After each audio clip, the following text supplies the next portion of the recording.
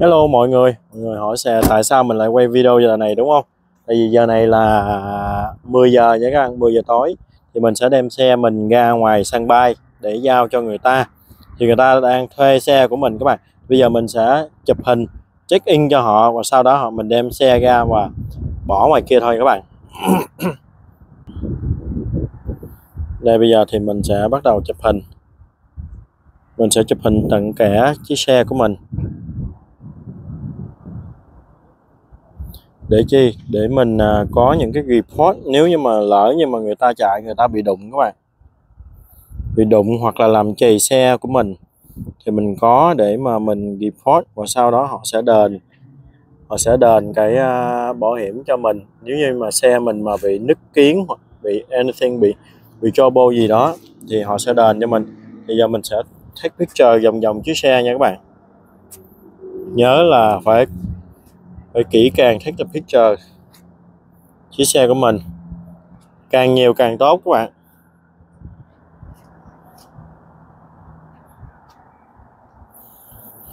Càng nhiều càng tốt để uh, cho mình có cái report chiếc xe mình uh, lúc mình chưa giao cho họ thì không bị gì lỡ nhưng mà họ giao lại cho mình mà có bị trầy xước thì mình cũng thấy các bạn.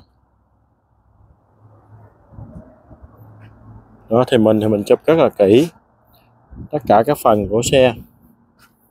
Trước, sau, đèn, bằng chụp hết cho mình. Những cái gì mà trên xe mình thì mình cứ chụp. Rồi sau khi chụp trong rồi, chụp ngoài rồi, bây giờ mình chụp ở trong. Xe mình có những cái gì ở trong thì mình cứ chụp.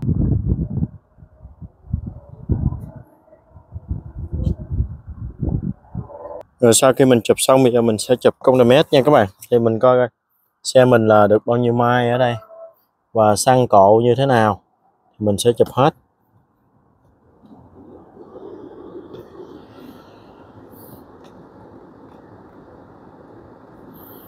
Đấy mình sẽ chụp cái phần này lại.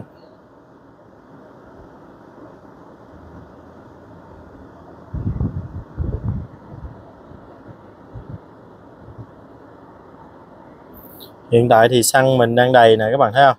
Đó thì khi mà họ trả xe lại thì họ cũng phải trả với xăng đầy lại cho mình. Rồi bây giờ xong. Save continue. Giờ thì mình sẽ bỏ số mai mình vô đây. À, chỉnh. Level xăng là full. Ok các bạn. Rồi. Đó chỉ thế thôi. Bây giờ mình sẽ đem xe ra ngoài kia cho họ thuê. Thì người này thuê của mình là từ uh, ngày 24 cho đến ngày 28 các bạn tức là 4 ngày. 4 ngày nó sẽ đem về cho mình là được 353 đô nha các bạn. Đấy. Đấy các bạn đây là à, cái cái cái, video mà hôm rồi mình muốn chia sẻ với các bạn đó.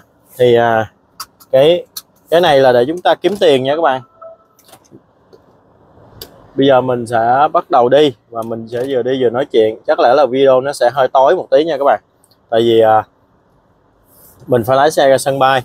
Thì bây giờ là cái à, cái phần check in là đã xong.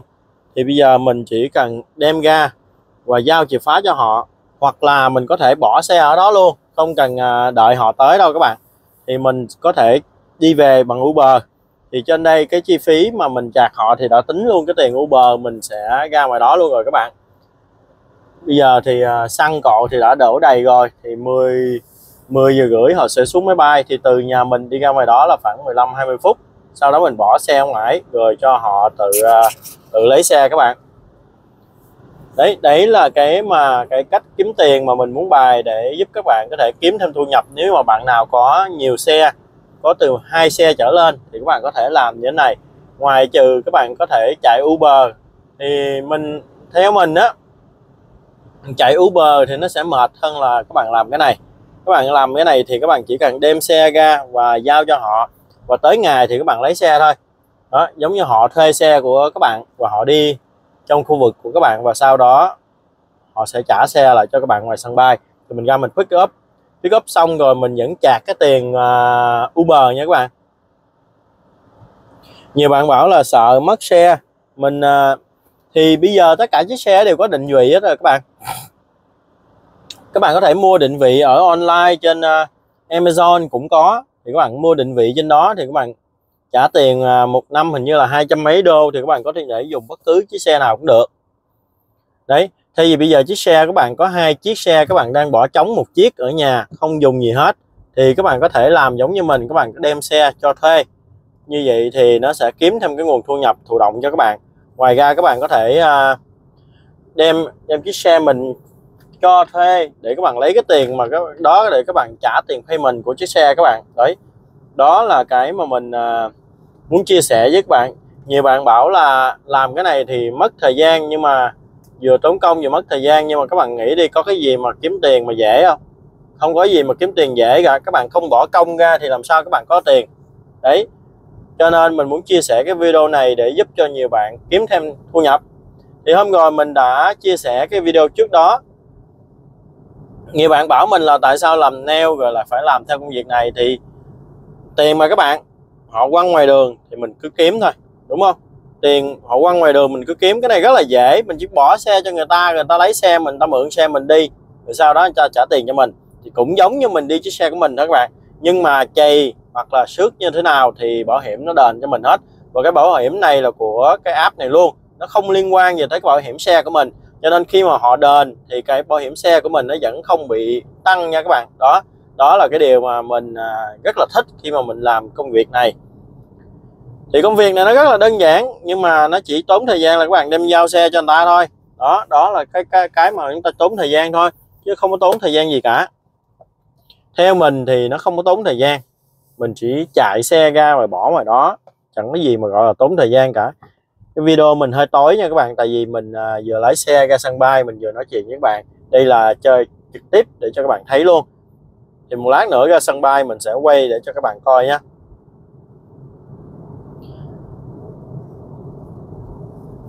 bạn nào mà thích thì có thể comment bên dưới thì mình sẽ chia sẻ cái à, cái app để cho các bạn cùng làm.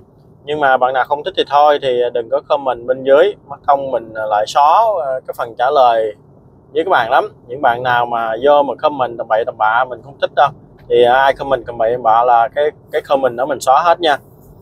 À, mình chỉ thật sự là giúp các bạn kiếm thêm tiền thôi chứ mình giới thiệu cho các bạn chẳng được cái gì đâu. Phiền tối thêm chứ làm cái gì đúng không? À, được kiếm tiền được thì không nói gì mà kiếm không được có đâu thừa mình. Cái này là mình chỉ chia sẻ thôi. Bạn nào mà kiếm được thì mừng cho các bạn thôi. Chứ uh, bây giờ các bạn dư hai xe, các bạn chẳng để làm gì cả và hàng tháng các bạn có thể trả thêm tiền hoặc là có thể kiếm thêm một thu nhập các bạn. Riêng chiếc BM này nè, chiếc BM này mình cho thuê một tháng nay là nó đi là ba chuyến rồi và ba chuyến tháng nay là mình kiếm trên một ngàn rồi các bạn. Đó, nếu chỉ cần đi ba chuyến là mình kiếm trên một ngàn rồi.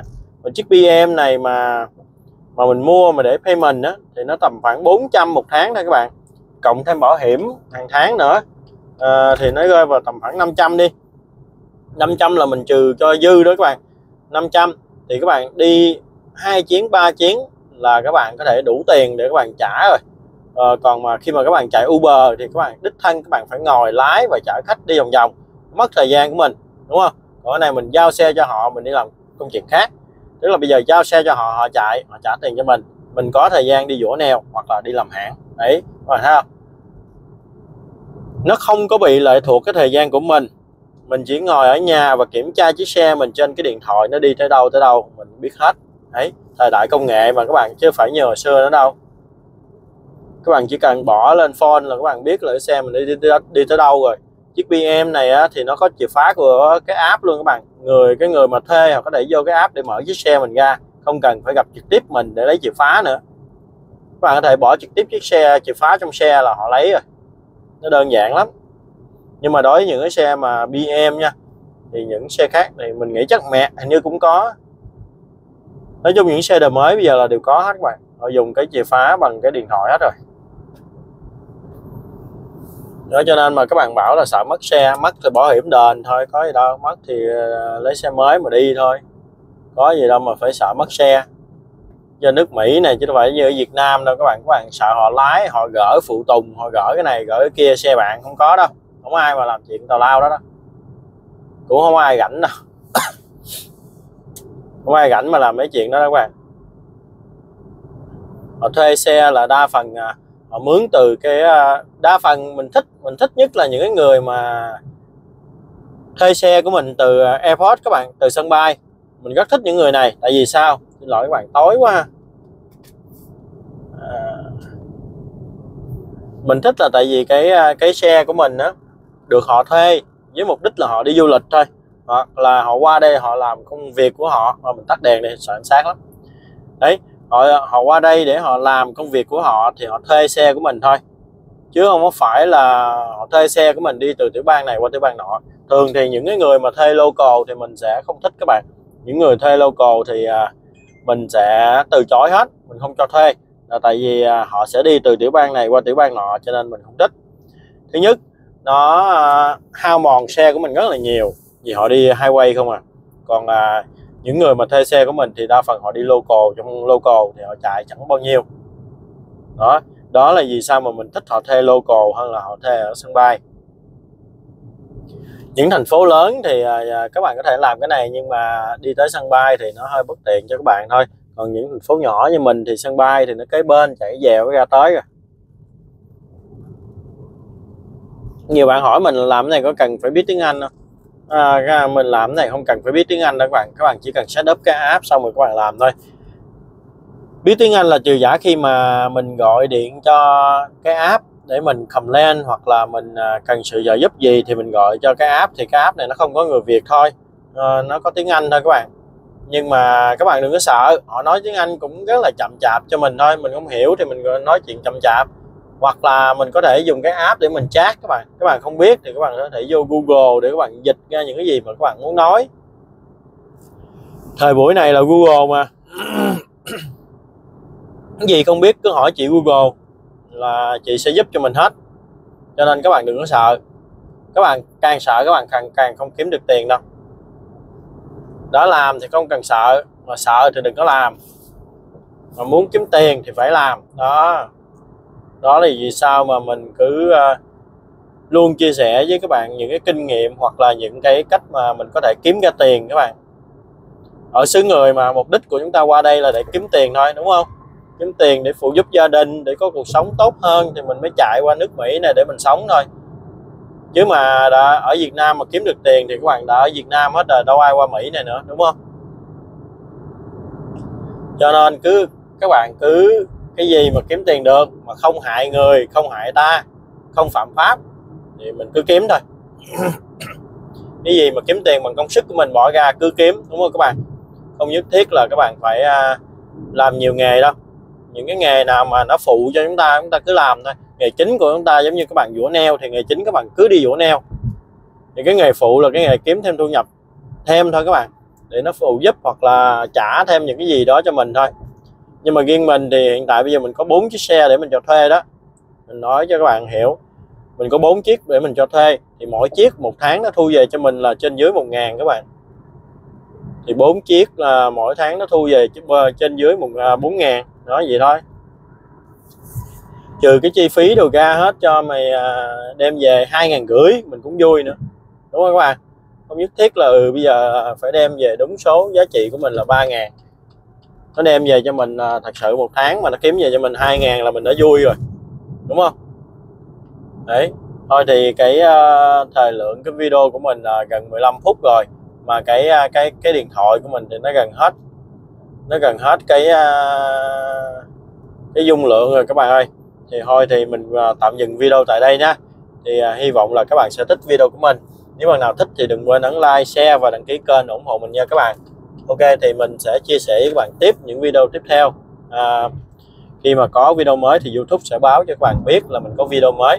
Ok bây giờ xin chào và hẹn gặp lại các bạn trong những video tiếp theo nhé bye bye.